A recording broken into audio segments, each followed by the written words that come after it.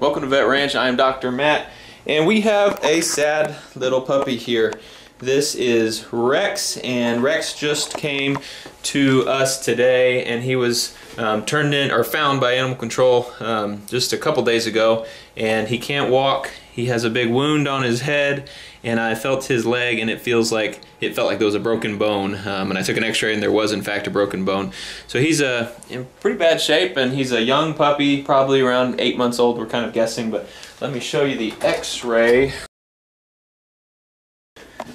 This is his femur, his right femur coming down, and as you can see, it kind of curves around here. It's broken here. This is his growth plate. This is a tibia here, and you can see there's a little growth plate right through there, um, and that's what it's supposed to look like. It looks like a fracture, but that's just its growth plate.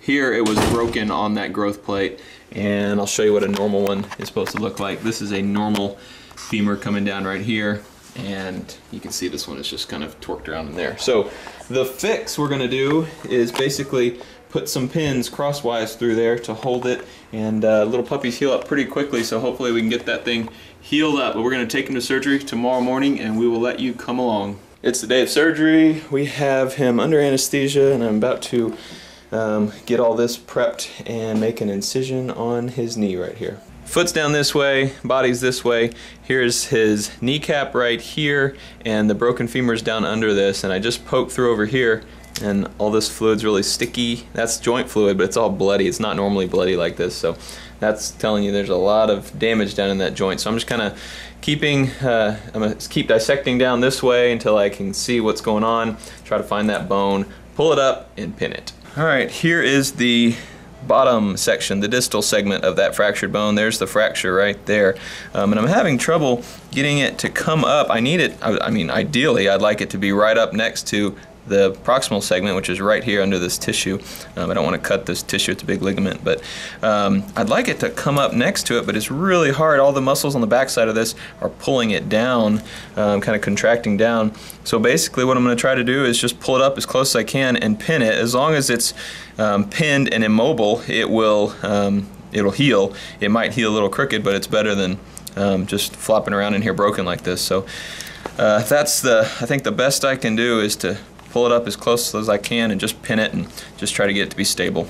Pin through this way and pin through this way through the distal end of that fragment um, up through the fracture and into the proximal bone there um, on both sides. This is the kneecap right here and the patellar ligament tendon coming down right here. That's when the doctor hits you and you kick your knee. That's what that is. So I went on both sides of it, up through the bone, crossed it, and now I can bend this leg and it's not going anymore because those bones, that fracture is held securely there. It may not be exactly where it was to begin with before the break, but it's not grinding anymore, so it'll heal. It may just heal a little crooked. We'll just have to wait and see now. But I'm gonna basically cut these things short and bend them over up here on the top and on the bottom so they hang on there really tight, hold those bones together tightly. Then I'll suture up the joint capsule, these two incisions here, and then I'll suture up the tissue and the skin. I'm almost done closing the skin now, and then we will bandage him and wake him up. All done. Knee feels much better than it did. It's not grinding anymore. There's a slight pop, and it's where the kneecap is going over that fracture line. Uh, but that fracture line should all fill in with fibrous tissue. Um, either way, though, it's about 10 times better than it was. That bone fragment is held solid, so that should allow it to heal and I was just finishing up and I saw something else I wanted to work on so I went ahead and neutered him as well. So now I'm going to wrap up his leg and wake him up.